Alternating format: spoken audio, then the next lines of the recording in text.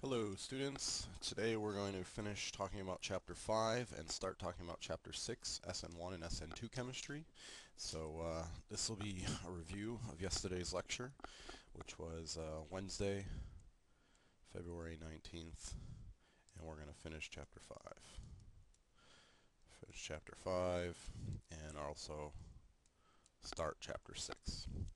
Chapter 6 is really, really important, so um, make sure you understand the basis of it, which is what I'm going to talk about today. We'll continue finishing talking about the basics on Monday, and then we're actually going to start doing some real stuff with it towards chapter 6 and 7, so it's really important. So let's finish chapter 5. Last time for chapter 5 we were talking about stereochemistry, uh, specifically enantiomers and diastereomers, but there's one other type of compound that we didn't talk about, and that was a meso compound right? Meso compounds uh, are not that complicated. Uh, I asked you to do the homework because I think you're capable of doing it even without this little knowledge of meso compounds because they're really not that difficult. Essentially, a meso compound is a compound that has more than two chiral centers, or greater than or equal to two chiral centers, and it also necessarily has an internal plane of symmetry. That's all it is. So essentially, if there's any place in the molecule that you can draw a dotted line, and one side of the dotted line looks exactly like the other, and it has two chiral centers, it's a meso compound. Meso compounds, by definition, are achiral, because they have that symmetry. So here's a good example. Cyclopentane diol.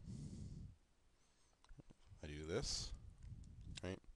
This is a chiral center, four different groups attached. This is a chiral center, four different groups attached. I can draw a dotted line right down the middle. The left half is exactly mirroring the other half. So this is the S configuration, this is the R configuration. If you pause the video and prove it to yourself, that'd be a good idea, so that you remember how to do that. So in this case, the SR form is what we call the meso form.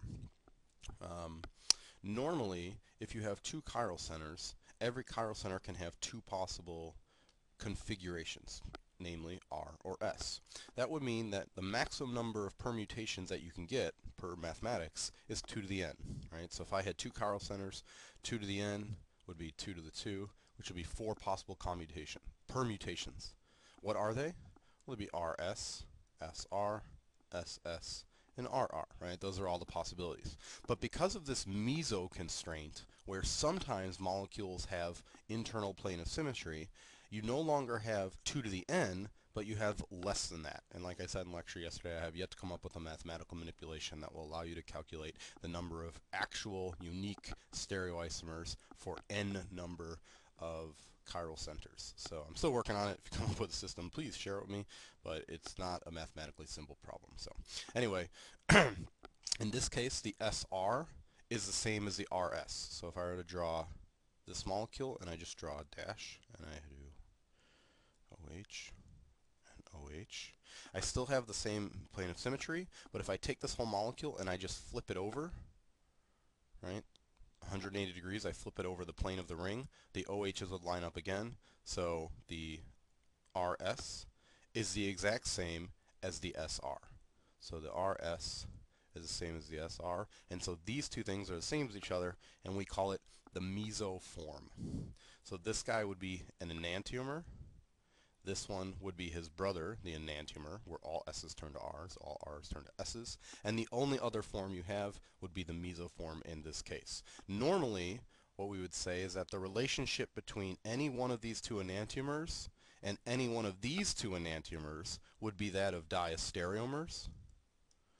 But because it's a mesoform, this is no longer true, right? We only have enantiomers and mesoform for this particular compound. And we only have three unique stereoisomers, namely RR, SS, and SR, which is the same as RS. Does not matter. Okay. So we could do the same thing for a molecule like this one. Dibromobutane. So I'll draw it this way. And I'll say how many total stereoisomers are there? Well, the first thing you want to do is identify all chiral centers.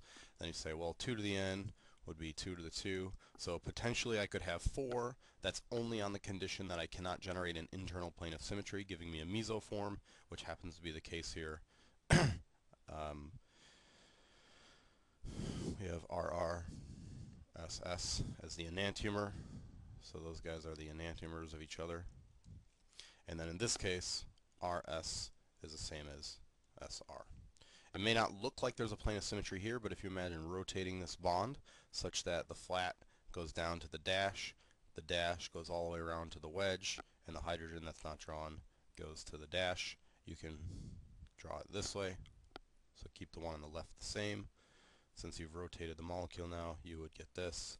And now it's very easy to identify, ah, there's the mirror plane, therefore this is the meso compound.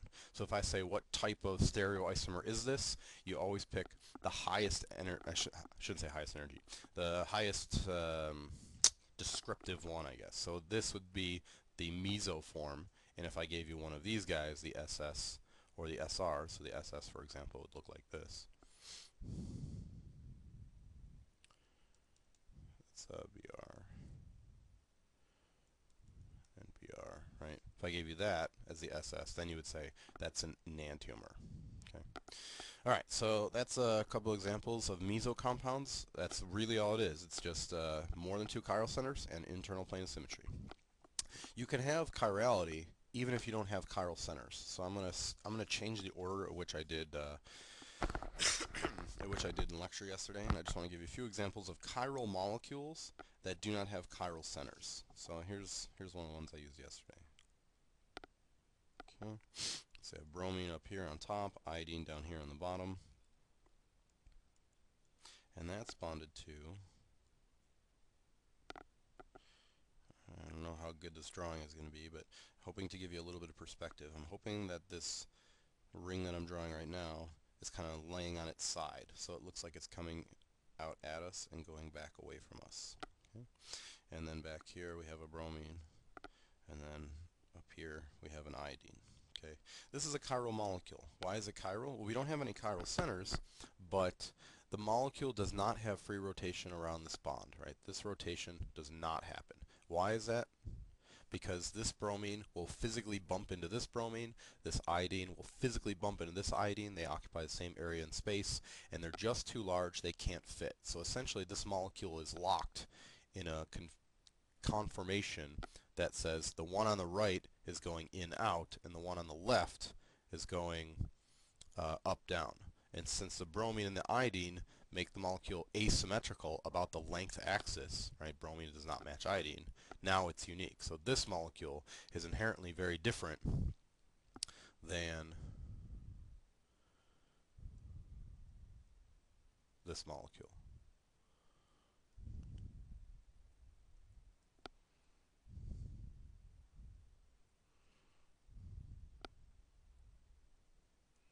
So this would be his enantiomer.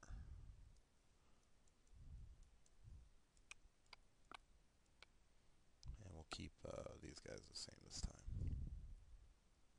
Oops, this should just be not a wedge. and I hope it doesn't look like it should be a stick, right? So the left has remained the same, but now I've rotated essentially this bond and flipped it over, so the iodine is the back. This is a different molecule than this one, and just by looking at it, you can superimpose the left half by sliding this molecule on top of this one, but then the right half would not superimpose. No chiral centers, but it is a chiral molecule. Same thing for one of the uh, questions I gave you on the test. Right, on exam one, I gave you uh, propadiene that looks like this. I ask you to draw the molecular orbital diagram.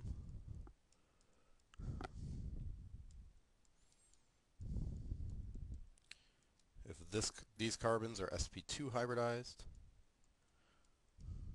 but the middle carbon is sp hybridized, so that means he has a p orbital that goes up, and he has a p orbital that goes out.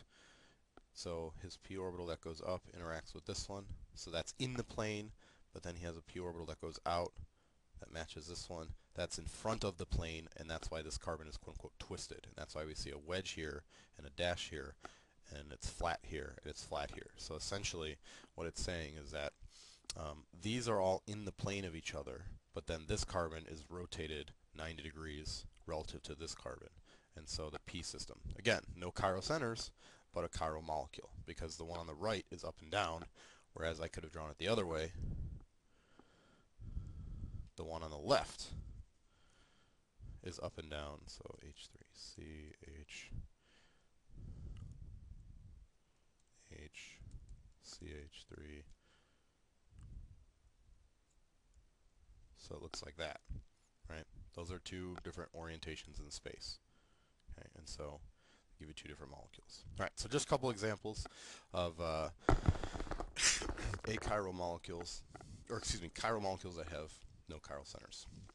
All right, we'll come back to what I talked about next in lecture, which is optical activity. Let's go to the next page.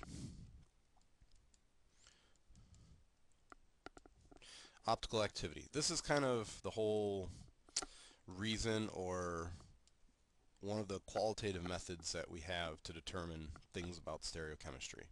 So we have uh, an instrument in chemistry that will actually measure the optical activity of a given sample. The instrument works like this. You start out with a light bulb. Be jealous of my light bulb drawing skills. and then we have a monochromator, right? A mono, mono, that's an N, monochromator. Mono means one, chromatic means light, right? So only one wavelength of light is allowed through the monochromator. That's the point of the monochromator. It says, okay, pick some wavelength, whatever you want, doesn't matter. Only light of that wavelength is going to be allowed through. The light that gets through the monochromator is polarized in all directions, up, down, left, right, in, out, diagonal, etc., etc. And so we have to add one more thing, which is a polarizing filter. Typically we draw a picture of a polarizing filter like this. This is the same exact filter that will be in your sunglasses. So let's see if I can check out these sweet sunglasses. Okay, so you have sunglasses that you put on your face, right? And the filter is a polarizing filter if you have those fancy ones. All it does is take the light that's coming in and say only light that's oscillating in a very specific orientation in space will be allowed to pass through. So if you take your two sunglass lenses, you take them out, rotate one 90 degrees relative to the other, and then stack them on top of each other, one will only allow light in one orientation, the other one will only allow light in the 90 degree rotation of that orientation, and therefore no light will get through. Right? The monochromator combined with the polarizing filter essentially will do the same thing. So the, the light that makes it through the monochromator is only oscillating in one direction. Then we have our sample tube. So we're going to put our sample tube in. This is where we're going to put our actual sample in the liquid phase. Has some size. And the sample will contain some enantiomer. So this will be sample. Right, so let's say we have um, just like the R form, right?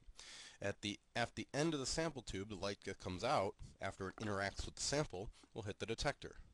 And the detector will say, initially the light was going exactly up and down, which is 0 degrees. When it came out of the sample, the light was rotated by some amount, perhaps 30 degrees. And so we have a 30 degree rotation of the light, and so we say then that the R form rotates the light to the right in this example, and therefore we say that the R form is what we call dextro rotatory. The way that we represent that with a symbol is the plus symbol. If it rotates the light to the left, so maybe not, so if the R form rotates the light to 30 degrees to the right, then the L form, excuse me, the S form would necessarily rotate the light exactly 30 degrees to the left, which would be just a negative value. We would call that levo rotatory. And the symbol we use for that is a minus sign. So occasionally you'll see this in the name of a molecule if you're looking through the textbook, if you're looking online, or if you're looking you know, on the internet or whatever. Um, it's technically not part of the name, but it does help be a little bit descriptive. So you, meet, you might see a name written down something like this. S plus 2 butanol, right?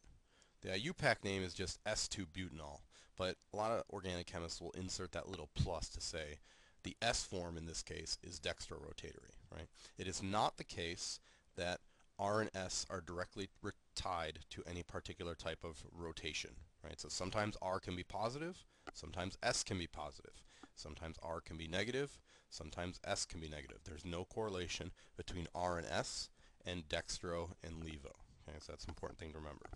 We also have a few equations that we can use to make some unique calculations about these things, which if you're in lab you might actually do this. I'm not actually going to ask you to ever do any calculations. I just want to show you the calculations or show you the, the formulas so you kind of see how it's used, but that's all I'm going to do with it. So for every molecule we can measure something that we call the specific rotation. It's a property that's unique to the molecule and it's independent of our sampling abilities, like our concentrations and things like that. And so what we do is we take the sample that we have in our tube and we measure some value. We call that alpha observed, right? So 29 degrees, 17.2 degrees, negative 2.3 degrees, doesn't matter. And we just divide that by the concentration of our sample and the length of the sample tube. That will allow us to calculate a value that we can use kind of as a standard and we can report it in the literature and so different people can compare their specific rotations, specific rotation. People can compare these values to each other. So they say, oh, I did this synthesis and I got this molecule and it has this melting point and this IR values and or these are IR values and it has this specific rotation. And then someone else does it and says, oh, I got this melting point, but I had this specific rotation. Something is going on, right? And you can kind of use that to backwards deduce the quality of the um, of the synthesis to say, oh, yours isn't as good because you have the side product showing up, which is messing up the enantiomers, or whatever. Additionally, sometimes you can do chemistry with achiral molecules that will lead you to generate chiral centers. Let me show you an example. If I take this molecule, this is 2-butanone, okay, and I add H2, so hydrogen. When I add H2, there's two ways that I can add it. Now you don't know about this mechanism yet. You're not going to learn it until OCHEM 2, so don't worry about it. But essentially what H2 does is it takes this pi system, right, the pi orbital that we talked about in molecular orbital theory, and the hydrogens just sit down on top of that pi orbital. When they do so, they can sit down on the top lobe, or they could sit down on the bottom lobe. Hydrogen doesn't have any reason to pick one lobe over the other. So you would think that naturally you would get a 50-50 chance because it could be half of the chances it can go on the top, half the chances it go on the bottom. There's no particular reason it should go to one side versus the other. So if the hydrogen interacts on the top side of the molecule, what you end up getting is a structure that looks like this.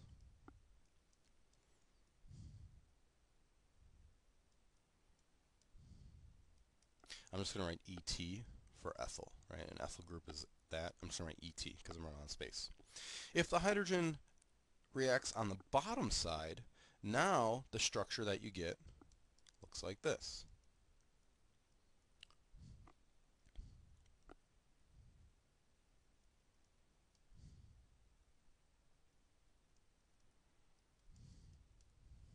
Okay. Those are, actually, I'm going to draw this differently. I'm going to put this one up here. There we go, ET. Those are two different structures. And we've generated chiral centers. So where there was prior no chirality, now we've generated chirality. Unfortunately, we haven't we don't have a way to control the chirality in this example because the chance that the hydrogen interacts on the top is just 50-50 chance with it reacting on the bottom. So we kind of just throw our hands in the air and say, well, I'm going to get a mixture of both of these. How much percentage-wise of the top structure will I get? 50%. How much of the bottom structure will I get? 50%. And so the product of this reaction yields a 50-50 mixture of both enantiomers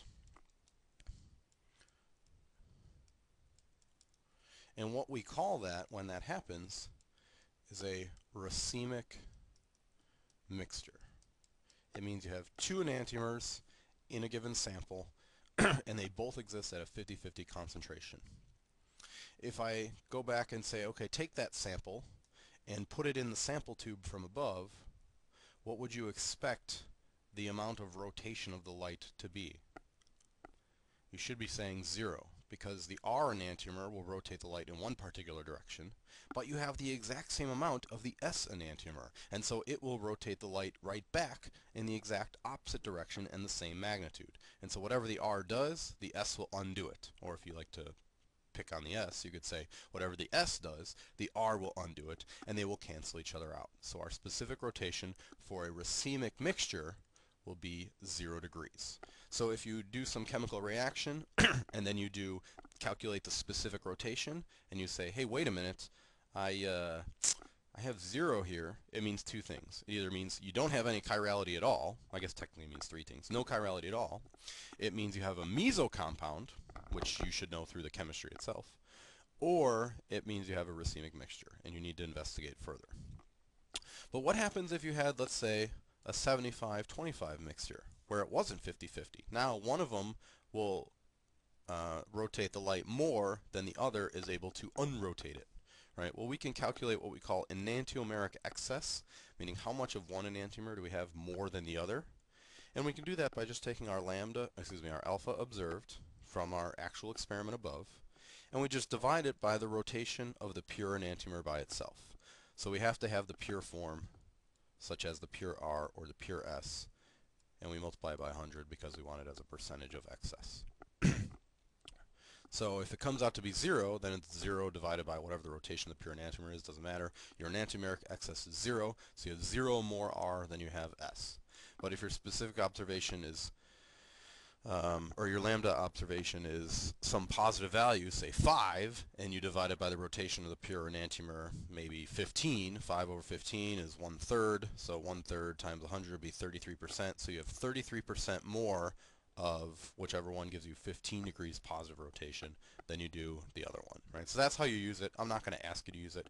I just kind of want to point out that you can you can use a couple of simple equations and a relatively simple instrument, right? These things are actually monochrometers. Um, optical activity devices are, are pretty cheap as chemistry instruments go. And it's a pretty simple test, right? You just take your sample in liquid form, put it in, and then press a few buttons on the computer, and you get some readout, right? It's really simple. You don't really have to do a lot of work to make it happen.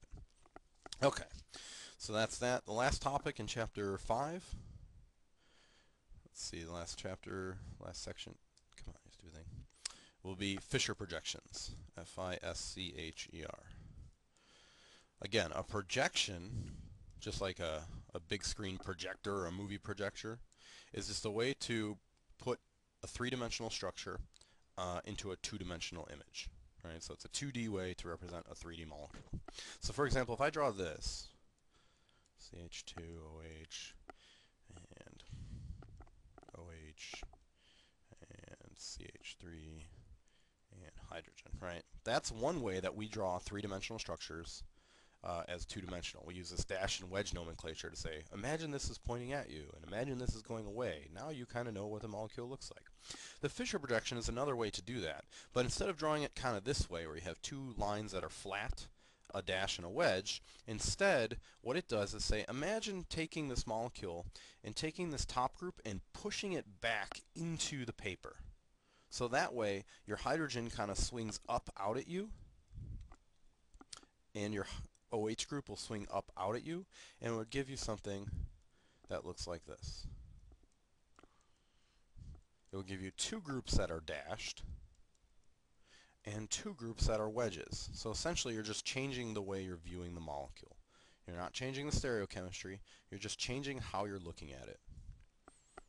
Okay, so you just push that group back so that the OH swings up, the H swings up, and then you're looking at it kind of down this axis so that the methyl group is down below, the CH2OH is up on top behind, so you get something like that. The way you draw a Fischer projection is just draw a plus sign or a giant T or a cross or whatever you want to call it and then insert the groups and draw like you're a four-year-old. CH2OH. This is the computer, it's not me, trust me. I, I know how to write. I don't know why it does that. It needs to be recalibrated. I don't know, it doesn't matter. So this would be the Fischer projection of the molecule over here. It's very it's helpful when you're doing sugar chemistry and when you're doing biochemistry although personally I don't find it that helpful for doing organic chemistry and so I'm not going to stress it. I will teach it. Uh, I will ask you one or two questions about it on the test. You might see it on the ACS exam but I'm not going to go crazy with it. If you take biochem or you move on in chemistry you'll probably see them some more um, and you can you can have more fun with them but me personally I'm not a fan of them. The way that I remember the Fischer projections like what means what the little man with the bow tie. Right, so the little man is happy because he's dressed up, looking looking snazzy. He wears a bow tie. Right, so that's the guy. So when you do this, you can imagine the things that are on the horizontal axis those things are coming out at you, and then the things above and below are going back behind the plane of the paper. So just to prove yourself that you know how to do this, do that again. Draw this molecule as a Fischer projection, and then we'll be done with Fischer projections. Okay. Go ahead and pause the video, and help if I give you all the molecules. Pause the video and draw the corresponding Fischer projection. Alright, so what I'm going to do is I'm just going to push this back. I'm going to pull that up. So Fischer projection would mean hydrogen would be here. This goes up to here. The methyl ends up down at the bottom as a dash, and COOH ends up here. If I wanted to draw the enantiomer of this molecule, it's very easy to do. And this is one of the benefits of Fischer projections, I'll give it that. If you rotate 90 degrees, 90 degree rotation, you necessarily generate the enantiomer. So if I draw the same thing, I take the COOH, and I put it here, that one there, that one there, that one there. I get this structure. Because I'm holding the dashes and the wedges the same, oops, this one becomes OH, this becomes CH3. Because I'm holding the dashes and the wedges the same, essentially all my dashes have become wedges, all my wedges become dashes in terms of what they're attached to, and so I flipped the stereocenter. So this would be one enantiomer, this would be the other enantiomer. So a 90 degree rotation about a Fischer projection necessarily gives you the enantiomer. A 180 degree rotation, so that would be another 90 degrees, so this one goes here, this one goes here, goes there, and goes there, would put, let's see, I'll put OH here, I put COOH down here, it would put H here, and CH3 up here, right? This returns you to the original enantiomer because you only have two flavors, right? You have R and S, or S and R, whichever is which, it doesn't matter. So if you flip it and then flip it back, these two now are the same as each other. And you can prove that because if you take this and rotate it 180 degrees, what do you get? You get COOH at the top, you get CH3 at the bottom, the OH ends up over on the left, and the H ends up at the right. This is the exact same thing as this. 180 degree rotation is the same molecule. All you're doing is essentially turning the paper upside down and looking at it from a different point of view. 90 degree rotation is changing the definition of what it used to be. So here it used to be a dash, because this is a dash, right? That's what this is supposed to be, a dash. And when you put it here, you're turning it into a wedge. So you're actually flipping the stereochemistry when you do a 90 degree rotation of the Fischer projections. That's one of the benefits of the Fischer projections. That's really all it's used for. So I'm going to stop there because I'm done with that. That's boring. All right, time to move on to what might be my favorite chapter in organic chemistry. Chapter 6, alkyl halides and nucleophilic substitution. So SN1, SN2, and E1 and E2.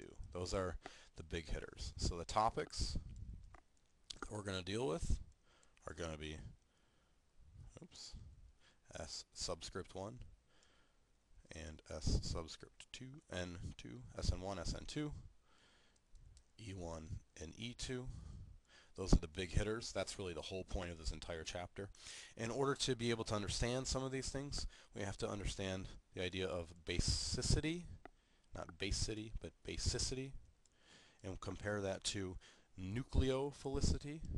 So you remember, I don't know, some number of weeks ago, I asked you to learn the term nucleophile and electrophile. That's where these are going to come in. Uh, this chapter, a nucleophile is an atom that prefers to make a bond to a carbon rather than to a hydrogen. We need to understand polarizability. Uh, we're also going to look at rearrangements, molecules, rearrangements. Molecules don't always behave the way you want them to because they're jerks.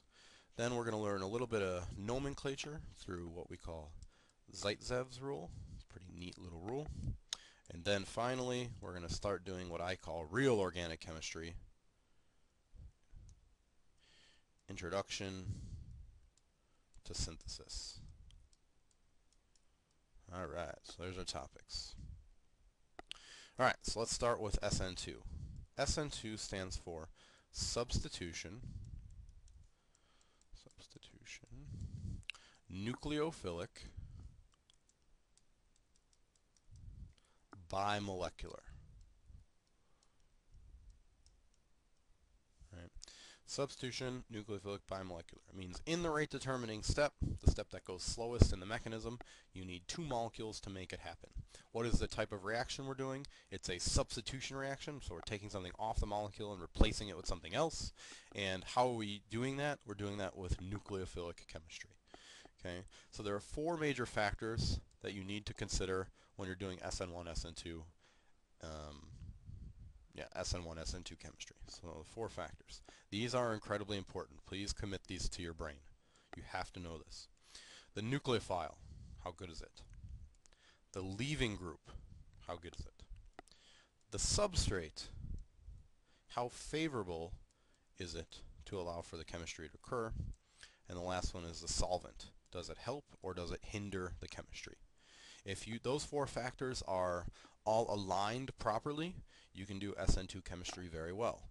If those factors tend to disagree with each other, and some of them promote SN2 chemistry, and some of them prevent SN2 chemistry, then you'll kind of have a hindered reaction that may or may not work depending upon the promotion and the prevention. Let's take a look at a generic SN2 mechanism, right? So it's a mechanism, so we're using our curly arrows. The generic SN2 mechanism is very simple. We're starting with some nucleophile, and it has to have a lone pair of electrons. Uh, the nucleophile, by definition, wants to make a bond to a carbon, so we need a carbon that has some things attached, but one of the necessary things it has to have attached is a leaving group. Uh, we'll talk about quality of leaving groups in a minute. For now, I'm just going to use Lg to represent leaving group. The carbon that's going to be making the bond is called the substrate, and that's number three here. This carbon and all the things that are attached to him is called the substrate, and it necessarily has to be sp3 uh, hybridized. Uh, when you do the chemistry, the nucleophile will attack the carbon, that's what we call it, a backside attack. Carbon, of course, cannot have more than 8 electrons, 2, 4, 6, 8, so it's gaining 2, so it has to lose 2. When the leaving group leaves, you generate a transition state that looks something like this. Oh, come on, you stupid pen.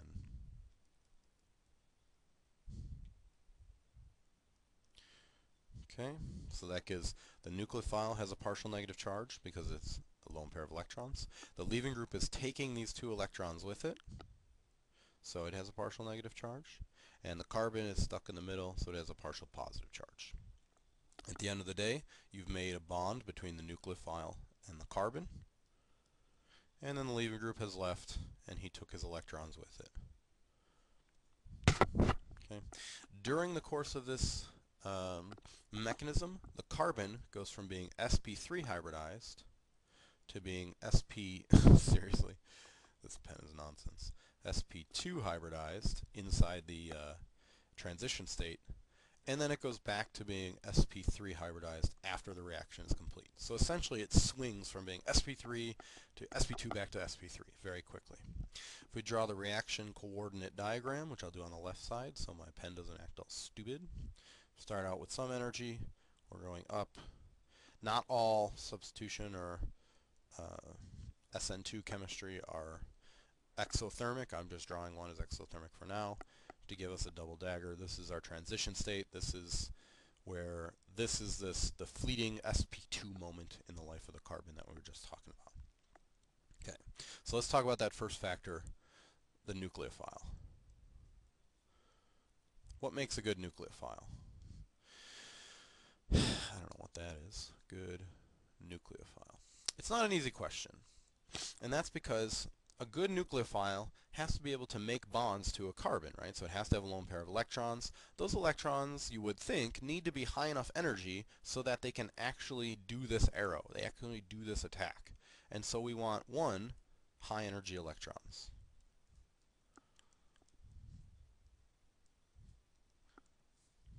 So that would be a helpful factor for a good nucleophile. But we also want what we call polarizable. Polarizable electrons. Right? Why is that important? That's important because the electrons cannot be so rigidly held by this nucleophile that they can't like kind of flop around in space, right? Even though we draw this mechanism like there's only the substrate and there's only the nucleophile in the solution, that's not really true, right? There's hundreds of millions of billions of nucleophiles, there's hundreds of millions of billions of molecules of substrate, and then there's billions of billions of billions of molecules of solvent that are getting in the way trying to stop this from happening. And so we need to have the electron's ability to move around inside the orbital in which they exist to be flexible enough to kind of squiggle around through solution and get close enough to the carbon to make a bond. If they're held so rigidly in space that they cannot they cannot move through space and get close enough to that carbon, they will not be very polarizable and therefore they will not be a good nucleophile. And the last factor that we need for a good nucleophile is small molecular size. Now, I'm not, when I say molecular size, I mean everything that's attached to the nucleophile, not just the nucleophilic atom in and of itself, right? So for example, here's some examples of good nucleophiles. OH minus has negative charge, um, so it's high energy electrons. It's not terribly polarizable because our electrons are in an sp3 hybrid orbital specifically an sp3 hybrid orbital that's made from a 2p orbital and a 2s orbital, so it's not very large in terms of size, but the energy of the electrons kind of compensates for the lack of polarizability. It's only two atoms big, one atom of which is a hydrogen, so it's essentially negligible, so it's relatively small. So it has three factors going, two good factors going for it, the high energy electrons and the small molecular size. Polarizability isn't so good, but number one, high energy electrons compensates for it. SH minus, also a good nucleophile. Again, high energy electrons because you have a negative charge. Uh, it's only two atoms big, so it's got the same thing going for it that oxygen has, or the OH case. However, sulfur makes its sp3 hybrid orbital from the 3s orbital and the 3p orbital, which gives you an sp3 hybrid orbital, which is a little bit larger than the sp3 hybrid orbital that is that exists for oxygen. And so these electrons are a little bit more polarizable, meaning the orbitals are a little bit bigger. But at the same time, because the orbitals are bigger, the energy is a little bit lower. And that's actually what makes OH a better base than SH. Uh, other examples, iodide, bromide, OCH3. Are you seeing a trend here? What am I doing? I'm sticking on this negative charge. Even in the small in the inorganic world called hard ions, the oxygens, the uh, nitrogens, right? And those hard ions, um, the uh, high energy electrons is more than enough to compensate for the fact that it's not that polarizable. As the electrons get lower in energy because they're in larger orbitals, like in iodide and bromide, they get more polari excuse me, they get more polarizable and therefore make up for the fact that the energy the electrons aren't as high as energy as they are in OH or SH or NH, etc. Okay. Um, one last example. A nitrile, carbon with a negative charge. Very, very little polarizability, but very, very high energy because carbon is not happy having this negative charge. He just not like that. So those are some examples of good nucleophiles. So they get smiley face. Here's some examples of bad nucleophiles. Then you get frowny face. Water. The electrons in water are happy just chilling the way they are. It's a stable molecule. It's all over the planet. Uh, doesn't want to do chemistry. It's happy like it is. Fluoride. It actually turns out that fluoride's kind of an oddball. Whereas iodide and sulfide and uh, hydroxide and bromide are all good nucleophiles, fluoride is just so damn electronegative that it holds onto those electrons so tight that the electrons are very high energy, but it's so unpolarizable it just doesn't work. So it's kind of an oddball. It doesn't necessarily fall into the trend that we are looking at earlier. Alcohols, like ethanol for example. Neutral molecule, doesn't have particularly high energy electrons, we're talking about 1, 2, 3, 4, 5, 6, 7, 8, 9 total atoms now, so molecular size is starting to get up there. And indeed, as you start piling on the atoms, right, like something like this, neutral molecule does not particularly care to be a good nucleophile. Right? You can see the molecules get bigger and bigger, and even though the nitrogen does have a lone pair of electrons, there's a lot of atoms hanging out with it. It doesn't particularly do a good job. Right? So these are all neutral species. The electrons don't really want to react that much. Okay? So the important thing we note here is um, good nucleophiles have high energy electrons and ideally are polarizable. So SH, I minus, Br minus, etc. Um, since we're doing nucleophilic chemistry is based on the ability of the nucleophile to attack this carbon, that's the term we use, um, if we have a strong nucleophile, we're going to push for an SN2 mechanism. Right? Later on, we're going to talk about the SN1 mechanism. It's not in this lecture, but it should be in the next lecture. And then we're going to talk about the leaving group. So let's move on to the leaving group right now. The leaving group has essentially two major factors. The most important one is the ability to stabilize electrons after the leaving group leaves. Okay. That's the number one most important thing. If the leaving group can stabilize electrons very well, it'll be a great leaving group. If it can't, then it won't be such a good leaving group. The other factor that's also helpful is to have some amount of electron withdrawing effect. Essentially, in order for something to be electron withdrawing, does it have electronegative negative elements? So does it have chlorine, fluorine, bromine, iodine, oxygen, nitrogen, sulfur, etc. Okay, so let's take example. Let's say we had a carbon, which I'm just going to use R. We had O, CH3, like that. And I, I'm going to take a nucleophile and I'm going to attack here, and I'm going to break this bond, and I'm going to compare that to a nucleophile that's going to attack my carbon here. Which one will be the better leaving group? Well, after the leaving group leaves, it would give me this.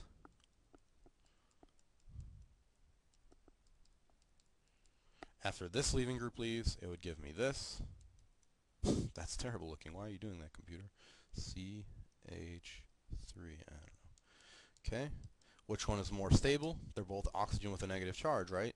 But jumping out of the page, you should immediately be shouting resonance, resonance, and resonance, and that will be the right answer. Because this structure is resonance stabilized, you'll necessarily be stabilizing the electrons a lot more and so this is a much better leaving group than this one. So much so that we almost don't even consider this a leaving group, whereas this one, acetate, is a leaving group. Okay. Same thing is true for non-resonance stabilized issues. If I have iodide, and I compare that to fluoride, and I say, let's do SN2 nucleophilic chemistry. You attack, you're going to be the leaving group. Some nucleophile is going to attack you, you're the leaving group. I'm generating I minus here, I'm generating F minus here. Which electrons are higher in energy? Well, clearly the F minus is higher in energy because they have the same amount of electrons, namely 2, jammed into a tiny little sp3 hybrid orbital, and they're held very tightly by the fluorine, so the energy of these electrons goes way up. Since the iodine electrons are in a 5p, or a 5 sp3 hybrid orbital, um, the orbital is a lot larger, the energy is a lot lower, and so this is more stable after it has left, and therefore it is a better leaving group. So this is one of the things that gets tricky because if you think about what I said a second ago, I said iodine is a better nucleophile, but it's also a better leaving group. Tricksy, tricksy things to think about. So a couple examples of good leaving groups. Example of good leaving groups. Obviously things that are resonance stabilized will be very good. So sulfate, phosphate, and bromine since it's electronegative, iodine since it's electronegative, both of which are large enough to uh, to stabilize that negative charge that forms bromide and iodide. Chlorine is okay, right? You can make it happen. It's not as good as the other two, but it'll do the job. It's in the gray zone. Of course, acetate, like we just talked about, would be good all the things that are resonance stabilized are good. Those are all good leaving groups, right? So whenever a leaving group can leave as some type of stable molecule, that'll be a good thing. Okay. So the next topic we're going to talk about is substrate structure. So that will be number three from our list from above. But I'm going to stop here for today, substrate structure, because that's where we got to in lecture yesterday. So um, I would like everyone to make sure that they can do chapter 5 homework, which was supposed to be turned in yesterday. And then uh, if you want to start chapter 6, that would be great. Although if you want to wait, that would be okay too. Wait till we get to the last two topics, substrate and solvent. and then we'll start doing some chemistry. Uh, I also handed out take-home quiz uh, number 3. So it's 10 points. It's due on Monday. And I think it was practicing the RS nomenclature stuff. Uh, it will be posted on Canvas, so please make sure if you didn't come to class or you didn't get a copy of it or whatever, that you print it out, complete it, and turn it in on Monday so you can get credit. Alright, so that is it. Have a good weekend, guys, and I will see y'all on Monday.